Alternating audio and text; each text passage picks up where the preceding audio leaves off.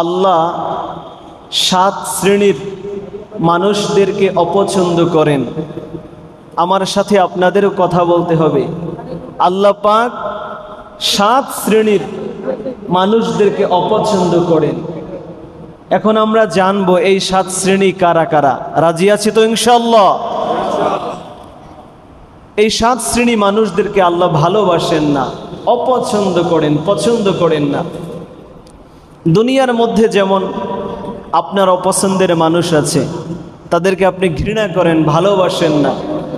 একজন নেতা যখন কর্মীকে অপছন্দ করে, ওই কর্মীর কিন্তু কোনো গ্রহণযোগ্য থাকে না, নেতার কাছে থাকে বলেন, একজন নেতা যদি কোনো কর্মীকে অপছন্দ করে, ওই কর্মীর কোনো গ্রহণযোগ্যতা ওই নেতার কাছে থাকে না, থাকে বলেন, আল্লাহ দুনিয়ার সাত শ্রেণির মানুষদেরকে অপছন্দ করেন। আমরা জানব যে এই সাত শ্রেণি কারা কারা? ইংসা আল্লাহ। এক নাম্বার হলো সীমা লঙ্ঘনকারী। সবাই জোরে বলবেন আমার সাথে। এক নাম্বার কি? সীমা লঙ্ঘনকারী, লিমিট ক্রসকারী। যে কোনো বিষয়ের একটা লিমিট থাকে। আমরা বলি না যে তুমি লিমিটটা ক্রস করে ফেলছো। সীমা লঙ্ঘন করে ফেলছো।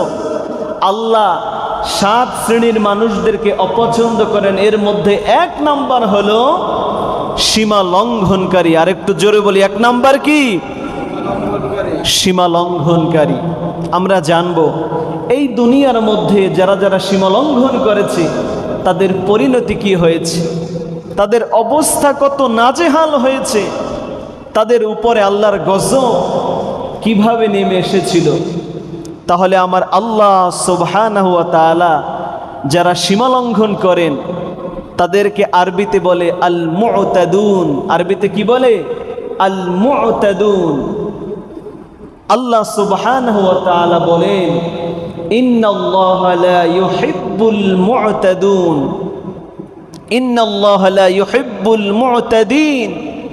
আল্লাহ সীমালঙ্ঘনকারীদেরকে ভালোবাসেন না, পছন্দ করেন না, বরঞ্চ অপছন্দ করেন। জোরে বলে, নাউজুবিল্লাহ। এর মধ্যে একটা মজার কথা আছে। আল্লাহ যে কোনো বান্দা পাপ করার পরে যে কোনো জাতি যে কোনো গোত্র পাপ করার পরে আল্লাহ সাথে সাথে আজাব দেয় না। আল্লাহ আস্তে আস্তে ছাড় দেয়। এই জাতিকে এই এলাকার মানুষদেরকে আল্লাহ ছাড় দেয়, কিন্তু আল্লাহ কোনো দিন ছেড়ে দেয় না, ঠিক কি না? আল্লাহ ছাড় দেন, আল্লাহ তার রশিকে আস্তে আস্তে ঢিল করে দেন, কিন্তু আল্লাহ কোনো দিন কোনো মানুষকে, কোনো বান্দাকে ছেড়ে দেন না, আল্লাহ ছাড় দেন, কিন্তু ছেড়ে দেওয়ার ইতিহাস আল্লাহর কাছে নাই, আল্লাহ আজাব বান্দাকে সাথে সাথে দেয় না, আল্লাহ ধরে ধরে ধরে না ধরলে বান্দাকে ছাড়ে না, ঠিক কি না? আল্লাহ বান্দাকে কি? ধরে না। ধরে না, কিন্তু ধরলে বান্দাকে আর ছাড়ে না, ঠিক কি না? আল্লাহ, আমি আপনি চিন্তা করতে পারি যে এই পাপ করে, অন্যায় করে, অবিচার করে আমরা পার পেয়ে গেছি। হয়তো দুনিয়ার মধ্যে পার পেতে পারেন, কিন্তু আখেরাতে পার পাওয়ার কোনো সুযোগ নাই। একটা জাতির কথা বলব, কয়েকটা জাতি। হজরত সলেহ আলিহিসালাম নাম শুনেছেন না? এই নবীর নাম অনেকে কম শুনেছেন। হজরতে মৌসা হজরতে ঈসা হজরতে আদম, আল্লাহ রাসুল, এই নবীগুলোর হজরতে সোলাইমান আলাইসাল্লাম ইউনুস আলাইসাল্লাম ইউসুফ আলাইসাল্লাম এদের নাম কমন আমরা সবাই জানি। কিন্তু হজরতে সলেহ আলিহিসালাম তিনি সামুদ জাতির কাছে এসেছিলেন। কোন জাতি? সামুদ জাতির কাছে এসেছিলেন। সামুদ নামে এই পৃথিবীর মধ্যে একটা জাতি ছিল, তাদের নবী ছিল হজরতে সালেহ আলিহিসালাম ওই সামুদ জাতির মানুষগুলো একটার পরে একটা অন্যায় করে যাচ্ছিল, অবিচার করে যাচ্ছিল, আল্লাহর সীমা লঙ্ঘন করে যাচ্ছিল। হজরতে সালেহ আলহিসালামের কোনো দাওয়াত গ্রহণ করছিল না। যত মুজিজা তাদের সামনে তুলে ধরেছিল, প্রত্যেকটা মুজিজাকে তারা বলেছিল, বড় জাদুকর হিসাবে জোরে বলি, নাউজুবিল্লাহ। প্রত্যেকটা মুজিজাকে তারা বলেছিলে যে এটা একটা জাদু, এটা তুমি একটা বিশাল বড় জাদুকর। যেমন আল্লাহ রাসুল রে আবু জাহেল বলেছিল না, জাদুকর, বড় একজন জাদুবিদ জাদুকর তুমি।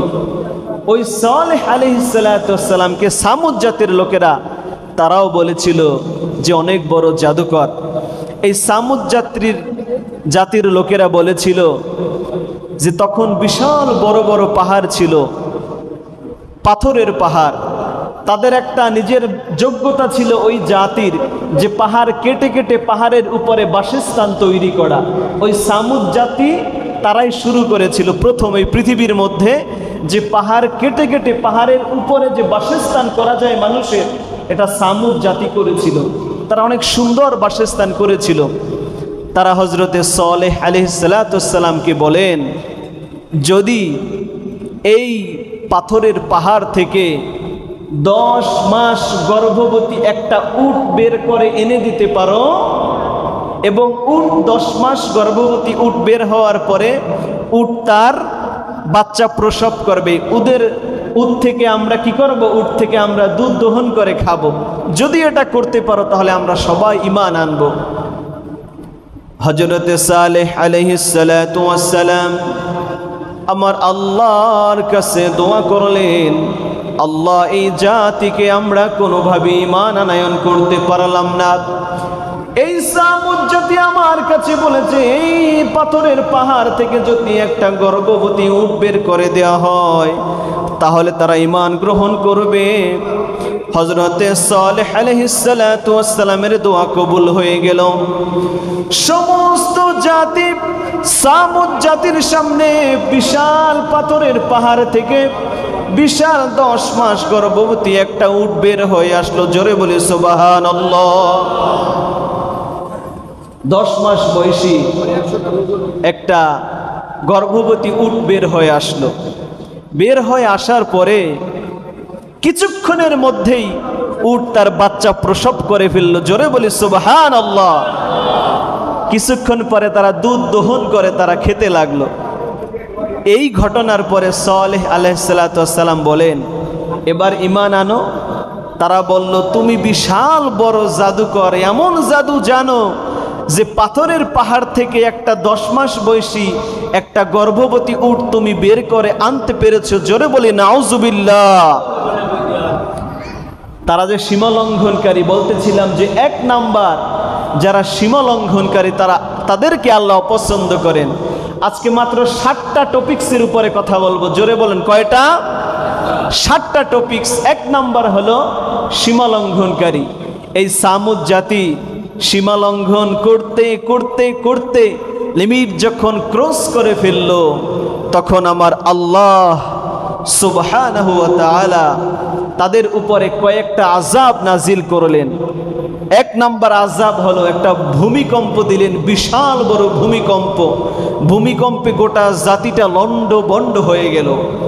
আরেকটা তাদের আজাব দিল যে জিব্রাইল আমিনের মাধ্যমে এমন জোরে একটা চিৎকার, এমন জোরে একটা সাউন্ড একটা আওয়াজের ব্যবস্থা করল, গোটা সামুদ জাতির কানের পর্দা ফেটে গোটা জাতির মানুষগুলো একেবারে লাশ হয়ে গেল। জোরে বলি, নাউজুবিল্লাহ। তাহলে বলতেছিলাম যে আল্লাহ ধরে ধরে ধরে না, ধরলে বান্দাকে ছাড়ে না, ঠিক কি না? তাহলে সীমালঙ্ঘনকারীকে আল্লাহ পছন্দ করেন না, আল্লাহ জাহান নামে দিবেন।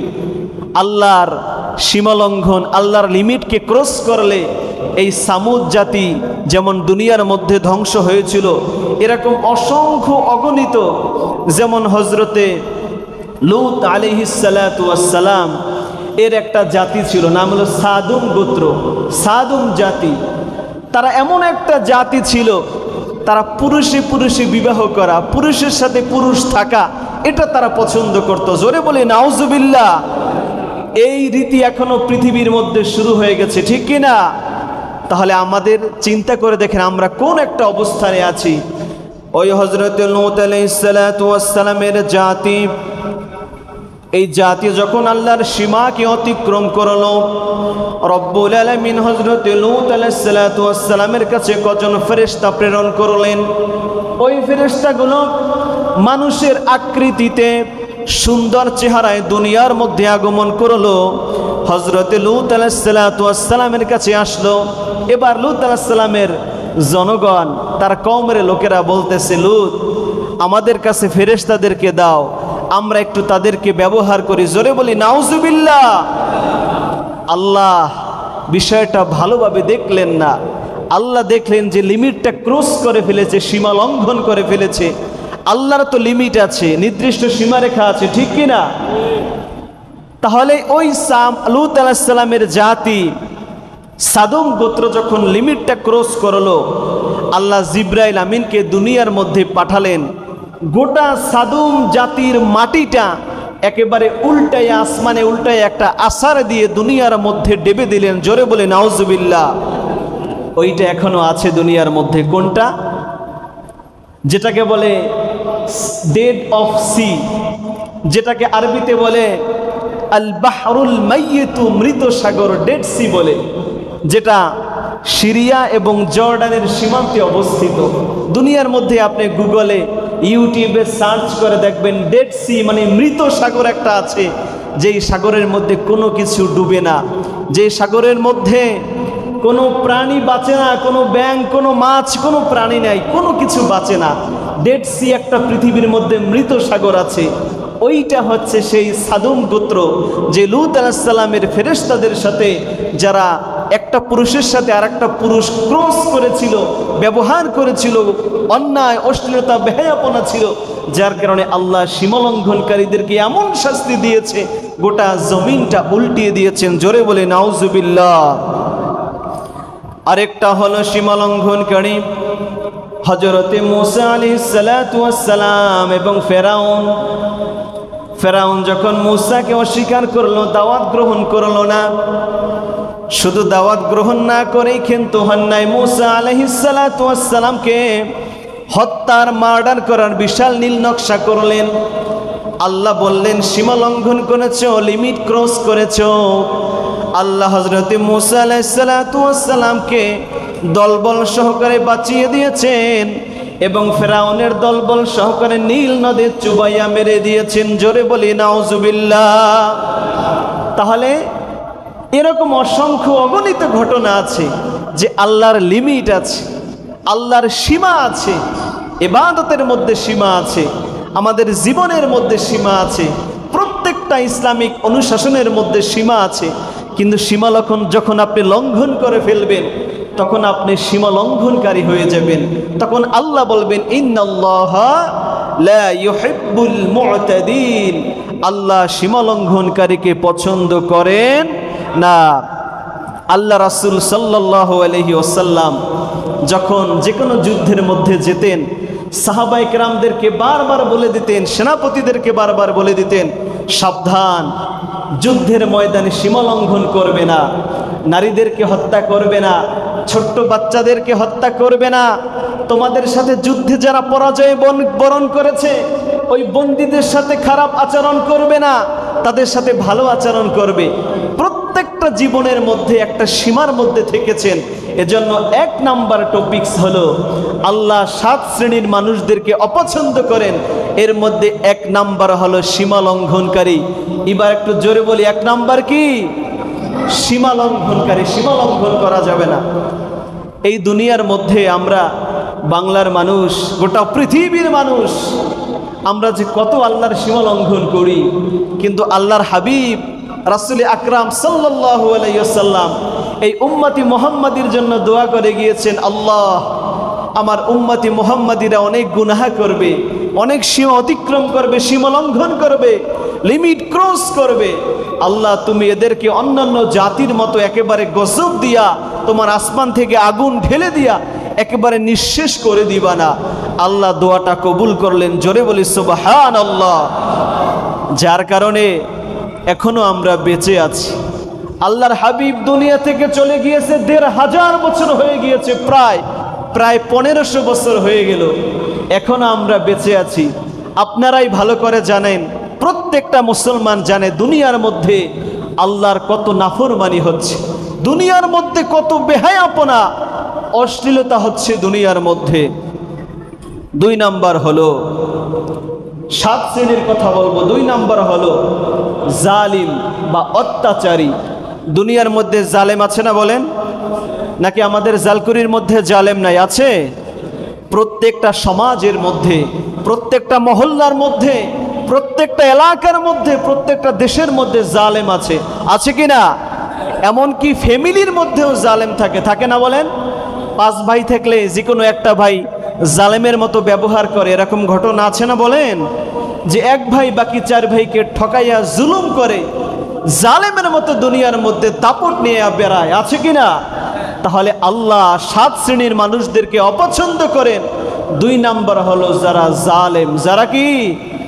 জালেম। খুব মনে রাখবেন, আলোচনা শেষে আপনাদেরকে আবার জিজ্ঞাসা করব যে আল্লাহ মাত্র সাত শ্রেণির মানুষদেরকে অপছন্দ করেন, ঘৃণা করেন, ভালোবাসেন না। তারা কারা কারা? তাহলে দুই নাম্বার হলো জালেম। হাদিসে কুদসির মধ্যে আছে, আমার আল্লাহর হাবিব সাল্লাল্লাহু আলাইহি ওয়াসাল্লাম হাদিসে কুদসির মধ্যে আল্লাহ বলেন, ইন্নি হাররামতা ইন্নি হাররামতা যালাম যুলমা আলা নাফসি। আমি আমার নিজের উপরে জুলুম করাটা হারাম করেছি, আমার আল্লাহ রব্বুল আলামিন বলেন, আমি আমার নিজের উপর জুলুম করাটা হারাম করেছি, হারাম ঘোষণা করেছি। আল্লাহ কোনো বান্দার উপরে জুলুম করেন না পৃথিবীর কোনো একটা বান্দার উপর আল্লাহ জুলুম করবেন না, আল্লাহ স্পষ্ট বলে দিয়েছেন, ইন্নি আলা নাফসি আমি আমার নিজের উপর জুলুম করাটা হারাম করেছি। মুহাররমান তোমরাও অন্য পৃথিবীর কোনো মানুষের উপর জুলুম করবা না। ফালা তাযালামু সুতরাং কেউ কারও উপরে যেন জুলুম না করে। জুলুম আর মজলুম এমন একটা বিষয়, যে ব্যক্তি জুলুমের শিকার, তাকে বলে মাজলুম। তাকে কি বলে? মাজলুম বলে। এই মাজলুমের সাথে আর আল্লাহর সাথে কোনো হিজাব থাকে না, কোনো পর্দা থাকে না। জোরে বলি সুবাহান যে ব্যক্তি মজলুম, জুলুমের শিকার, তাকে বলে মাজলুম। এই মজলুম ব্যক্তির মধ্যে আর আল্লাহর মধ্যে কোনো ধরনের একটা পর্দা থাকে না, সরাসরি ওই মজলুমের দোয়া আমার আল্লাহ সুবাহানহু তালার দরবারে কবুল হয়ে যায়। এজন্য আল্লাহর হাবিব বলেন যে, মজলুমের বদদোয়া থেকে তোমরা পানা চাও, মজলুমের বদদোয়াকে তোমরা ভয় পাও। যে ব্যক্তি মজলুম, ও আল্লাহ কখনো বান্দার উপরে জুলুম করেন না, ঠিক কি না আপনি বলতে পারবেন যে আল্লাহ আপনার উপর জুলুম করেছে। আপনার একটা সন্তান, একটা সন্তানই দুনিয়া থেকে চলে গেল। আপনি বলতে পারবেন না যে আল্লাহ জুলুম করেছে, আল্লাহ অবিচার করেছে। আল্লাহ দুনিয়ার মধ্যে যে কোনো একটা কজ যে কোনো একটা কারণ, ওসিলা দিয়ে দুনিয়া থেকে বান্দাদেরকে বিদায় করে, ইন্তিকাল শরীফ করেন, ঠিক কিনা? তাহলে কেয়ামতের ময়দানে মিজানের পাল্লায় যে আমাদের ওজন মাপা হবে আমাদের নেকের পাল্লা মাপা হবে সেখানে মাওয়াজিনুল কিস থাকবে এত সুন্দরভাবে মাপা হবে فَمَن يَعْمَلْ مِثْقَالَ ذَرَّةٍ خَيْرًا يَرَهُ وَمَن يَعْمَلْ مِثْقَالَ ذَرَّةٍ شَرًّا يَرَهُ কেয়ামতের ময়দানে আপনার অনুপরিমাণ সওয়াব মাপা হবে আপনার অনুপরিমাণ জাররা পরিমাণ, গুনাহের কাজটাও মিজানের পাল্লায় মাপা হবে। জাররা শব্দের ব্যাখ্যা, তাফসির এইভাবে এসেছে, সাধারণভাবে বুঝবেন শীতের সিজনে, শীতের দিনে। আপনি যখন টিনের ঘরে থাকবেন টিনের ঘরের টিনের বেড়ার ছিদ্র দিয়া যখন একটা আলো আলো যখন আপনার ঘরে প্রকাশ পাবে, যখন টিনের ছিদ্র দিয়ে একটা আলো আপনার ঘরে প্রবেশ করবে, ওই আলোর মধ্যে দেখবেন ধুলাবালি উড়তেছে ঠিক কিনা? দেখা যায় কিনা? শীতের মধ্যে টিনের ছিদ্র দিয়া যখন একটা আলো প্রবেশ করে, ওই আলোর মধ্যে ধুলিকণা দেখা যায়। দেখা যায় কিনা? কিন্তু যখন আলো ছাড়া আপনি দেখেন, কোনো ধুলিকণা দেখা যায় বলেন? কোনো ধুলিকণা দেখা যায় না। এইটা হচ্ছে জার্রার ব্যাখ্যা যে জার্রা পরিমাণ, ওই ধুলিকণা পরিমাণ যদি আপনার নেক আমল থাকে, ওইটাও মিজানের পাল্লায় মাপা হবে। আর ওই ধুলিকণা পরিমাণ যদি আপনার গুণা থাকে, সেটাও মাপা হবে, ঠিক কিনা দুনিয়ার মধ্যে যে রিলিফ দেয়, সবাইরে দশ কেজি করে দিল, আড়াই কেজি করে দিল, কারও দশ কেজি পাঁচশো গ্রাম হয়, কারও এগারো কেজি হয় কারও আবার নয় কেজি আটশো গ্রাম হয় হয় কি না কিন্তু আল্লাহর মিজানে এরকম হওয়ার কোনো সুযোগ নাই, আছে কি না কোনো সুযোগ নাই, একটা সওয়াবের জন্য কেউ জান্নাতে যেতে পারবে না। আবার একটা সওয়াবের জন্য কেউ জাহান নামে চলে যাবে একটা গুনাহের জন্য, ঠিক কি না তাহলে এই জাররা পরিমাণ সেখানে আল্লাহর দরবারে অনেক অনেক অনেক গুরুত্বপূর্ণ এই জন্য বলা হয় যে ফামাইয়া আমাল মিসকালা দাররাতিন খৈরইয়ারা ওয়ামাইয়া আমাল মিসকালা দাররাতিন শাররাইয়ারা এরপরে তিন নাম্বার হলো, বিশাল ব্যাখ্যা, এক একটা। তিন নাম্বার হলো, আল্লাহ যারা অহংকারী, অহংকারীদেরকে ভালোবাসেন না। দুনিয়ার মধ্যে অহংকারী আছে না বলেন? নাকি আমাদের উত্তরপাড়া নাই অহংকারী আছে? দুনিয়ার মধ্যে অহংকারী আছে। দাম্ভিকতা আছে, কিসের অহংকার? বলেন তো কিসের অহংকার? গাড়ির অহংকার, বাড়ির অহংকার, জমির অহংকার, ফ্ল্যাটের অহংকার, নিজের পদের অহংকার, চেহারার অহংকার, নিজের পোশাকের অহংকার, নিজের বংশের অহংকার, শুধু অহংকার। অথচ আমার আল্লাহ সুবাহান বলেন, হল আতা আলাল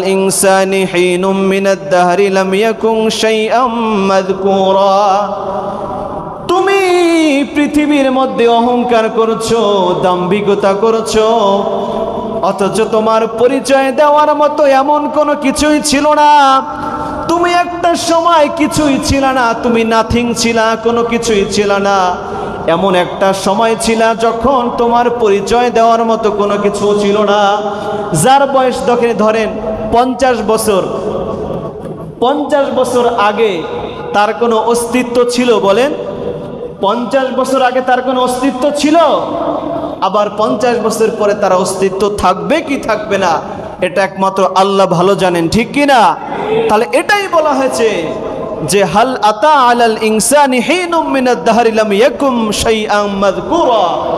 যে তোমার একটা সময় ছিল তোমার কিছুই ছিল না। তোমার পরিচয় দেওয়ার মতো কিছুই ছিল না। তারপরে দুনিয়ার মধ্যে এক একটা সিস্টেম ক্রস করে, এক একটা সিস্টেম পদার্পণ করে, তুমি দুনিয়ার মধ্যে আসলা। তারপরে আস্তে আস্তে বয়স হলো, নিজের পরিচয় বাড়লো, প্রসার হলো, প্রচার হলো, তারপরে তোমার পরিচয় হলো।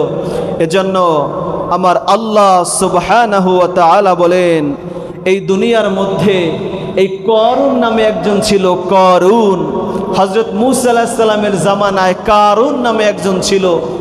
এত সম্পত্তি ছিল যে কারুনের এত আলমারি ছিল এবং ধনভাণ্ডার ছিল।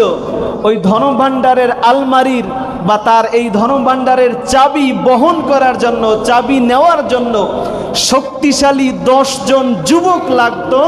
শুধু চাবিগুলা বহন করার জন্য জোরে বলি আল্লাহ আকবর। কেমন সম্পদশালী ছিল।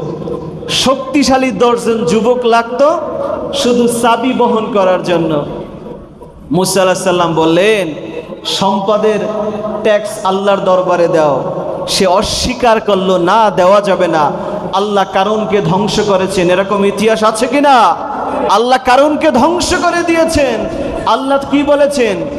আল্লাহ বলেছেন যে, আল্লাহ গনিয়ন আংতুমুল ফুকরা যতই কারণের মতো সম্পদশালী হও না কেন, তোমরা ফকির আর আমি হচ্ছি ধনী আল্লাহ। ঠিক কিনা বিশাল লম্বা আলোচনা। চার নাম্বার হলো, আল্লাহ যাদেরকে পছন্দ করেন না, অপচয়কারী দুনিয়ার মধ্যে অপচয়। আমার আল্লাহ তাআলা বলেন, কুলু ওয়াশরাবু ওয়ালা তুসরিফু। কুলু ওয়াশরাবু ওয়ালা তুসরিফু। কুলু শব্দের অর্থ হলো, তোমরা খাও। অশ্রবু তোমরা ড্রিঙ্কিং করো, তোমরা পান করো। ওয়ালা তুসরিফু, সাবধান, অপচয় করা যাবে না। ইন্নাল মুবাদ্দিরিনা কানু ইখওয়ানাশ শায়াতিন। নিশ্চয়ই অপচয়কারীরা শয়তানের ভাই। শয়তানের যদি কেউ ভাই হয়, তাহলে সেও তো একজন শয়তান, ঠিক কি না জোরে বলেন, ঠিক কিনা? শয়তানের ভাই, সে কি মুত্তাকি না দরবেশ, নাকি সেও শয়তান? বলেন, শয়তানের ভাই তো শয়তান হবে।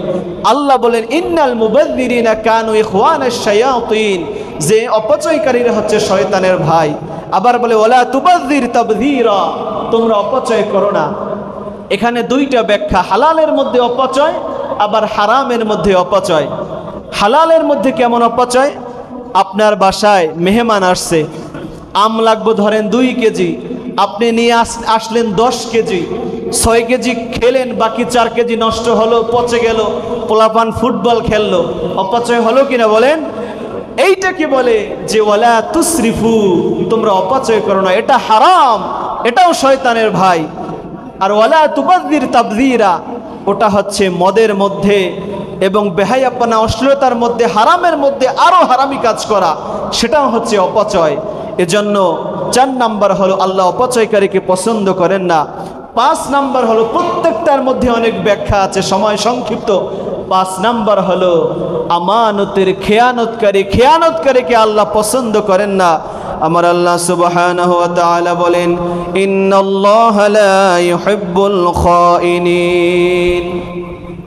দুনিয়ার মধ্যে যারা আমানতের খেয়ানত করবে, তারা আল্লাহর জান্নাতে প্রবেশ করবেন না, আল্লাহ তাদেরকে ভালোবাসবেন না, আল্লাহ তাদেরকে পছন্দ করবেন না। একজন বেদুইন আল্লাহর হাবিবের কাছে প্রশ্ন করল, ইয়া রাসূলুল্লাহ, ইয়া হাবিবাল্লাহ, মা তাসসা, কখন কিয়ামত হবে? কখন ইসরাবিল সিংগায় ফুৎকার দিবে? আল্লাহর হাবিব বললেন, যখন আমানতের খেয়ানত করা হবে। এবার ওই বেদুইন সহজ সরল মানুষ আবার প্রশ্ন করল রাসূলুল্লাহ, ইয়া হাবিবাল্লাহ, আমানতের খেয়ানত বিষয়টা কি একটু ব্যাখ্যা করে বুঝাইয়া বলেন? আল্লাহর হাবিব বললেন যেই পদের জন্য, যেই পোস্টের জন্য, যেই চেয়ারের জন্য, যেই লোকটা যোগ্য না অযোগ্য লোক, ওই লোকটাকে ওই চেয়ারে বসানো, ওই লোকটাকে ওই পোস্ট দেওয়া, ওই লোকটাকে ওই চেয়ারে বসানো হচ্ছে আমানতের খেয়ানত। জোরে বলে নাউজুবিল্লাহ আছে কিনা এমন সমাজে বলেন? পৃথিবীর মধ্যে আছে, যেই লোকটা ওই চেয়ারের ওই পদের যোগ্য না, তারে ওই চেয়ারে বসানো। এটা আমানতের খেয়ানত। এটা কিয়ামতেরও আলামত, আল্লাহর হাবিব বলেন যেটা কিয়ামতেরও আলামত। আবার মুনাফিকের আলোচনার মধ্যে আসছে, আল্লাহর হাবিবের কাছে প্রশ্ন করা হলো যে, মুনাফিক কাকে বলে? আল্লাহর হাবিব বলেন ইরা হাদ্দাসা কাদাবা যখন সে কথা বলবে, মিথ্যা বলবে। যখন সে কথা বলবে, কি বলবে? মিথ্যা বলবে। যখন সে ওয়াদা করবে ভঙ্গ করবে। যখন তার কাছে কোনো কিছু রাখা হবে, আমানত রাখা হবে, ওই আমানতের খেয়ানত করবে, এটা হচ্ছে মুনাফিকের আলামত। একেবারে শর্টকাট তিনটা আলামত। এজন্য চার নাম্বার হলো, অপচয়কারী কেউ দুনিয়ার মধ্যে কেউ পছন্দ করবেন না, তো দূরের কথা, আল্লাহ নিজেও পছন্দ করেন না। একবার আল্লাহর হাবিব মা আয়সা রাদি আল্লাহ ঘরে ঢুকলেন ঘরে ঢুকার পরে দেখলেন ফ্লোরের মধ্যে, ঘরের মধ্যে এক টুকরা রুটি পড়ে আছে। আল্লাহর হাবিব রেগে গেলেন, বিশাল রেগে গেলেন, বললেন, এই রিজিকের অবমূল্যায়ন হচ্ছে, এই রিজিক তোমার ঘরে থাকবে না। জোরে বলে, নাউজুবিল্লাহ। চিন্তা করেছেন যে রিজিক, আর আমরা দুনিয়ার মধ্যে কত রিজিক অপচয় করি। পাঁচ নাম্বার হলো, দুনিয়ার মধ্যে ফাসাদ সৃষ্টি করা, ফাসাদ। যেমন কোরআনের মধ্যে একটা আয়াত আছে আল ফিতনা তু আসাদ্দ মিনাল কতল, ফিতনা করা, ফাসাদ করা। আল্লাহ সুবহানাহু ওয়া তাআলা বলেন আল্লাহ ফাসাদ সৃষ্টিকারীদেরকে ভালোবাসেন না। দুনিয়ার মধ্যে ফাসাদ হয় না বলেন, সমাজের মধ্যে ফাসাদ হয়, এলাকার মধ্যে ফাসাদ হয়, গোটা দেশের মধ্যে ফাসাদ হয়। এই ফাসাদ সৃষ্টিকারীকে আল্লাহ পছন্দ করেন না। একটা উদাহরণ দিলে বুঝবেন। যেমন আমরা যে ফাসাদ বলি, আমরা সামাজিকভাবে ফাসাদের শিকার, রাজনৈতিকভাবে ফাসাদের শিকার। এমন একটা সময় গেছে যে কাঁচামরিচের কেজি ছয়শো টাকা, সাতশো টাকা, আটশো টাকা হয়েছে। ঠিক কিনা এইটা একটা ফাসাদ, এটাকেও ফাসাদ বলে। সামাজিকভাবে গোটা অঞ্চলের মানুষের কাছে একটা ফাসাদ একটা বিনষ্ট, একটা বিশৃঙ্খলী একটা মনোভাব তৈরি করা। এইটা যারা, যেটাকে বলে ইংলিশে সিন্ডিকেট যারা করে, তাদেরকে ফাসাদ বলে। আল্লাহ বলেন, ইন্নাল্লাহ লা ইউহিব্বুল মুফসিদিন।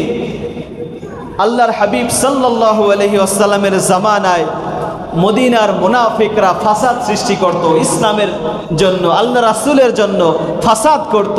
ইসলামের মধ্যে আল্লাহর হাবিবের কাছে ফাসাদ করত। আমার আল্লাহ সুবহানাহু তাদের উদ্দেশ্যে বলেন ওয়াইদা ক্বিলা লাহুম, লা তুফসিদু ফিল যখন তাদেরকে বলা হলো ওয়াইদা ক্বিলা লাহুম, লা তুফসিদু ফিল আরদ দুনিয়ার জমিনের মধ্যে তোমরা ফাসাদ সৃষ্টি করবা না বলো তারা বলল ইন্নামা নাহনু মুসলিহুন আমরা ফাসাদ সৃষ্টি করি না, আমরা একজন ভালো মানুষ।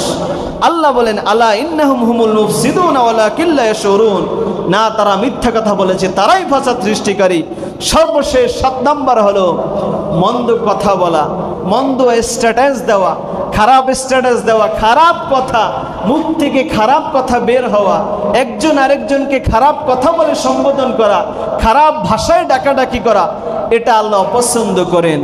আল্লাহর হাবিব বলেন, দুনিয়ার মধ্যে যদি কোনো বান্দা আল্লাহর রাসূলের কোনো উম্মত মুখ ফসকে যদি একটা খারাপ কথা বের হয়ে যায়, আল্লাহ যদি এটাকে খেয়াল করেন, এইটার উসিলায় তার জাহান নাম হয়ে যেতে পারে। জোরে বলে, নাউজুবিল্লাহ। আল্লাহ তাআলা আমাদেরকে এই সাত শ্রেণির মানুষদেরকে হেফাজত করে আমাদেরকে আমাদের বাস্তব জীবনে আমল করার তৌফিক দান করুক। ওয়াখর দাওয়ান আনিল হামদুলিল্লাহ আলমিন আলামিন।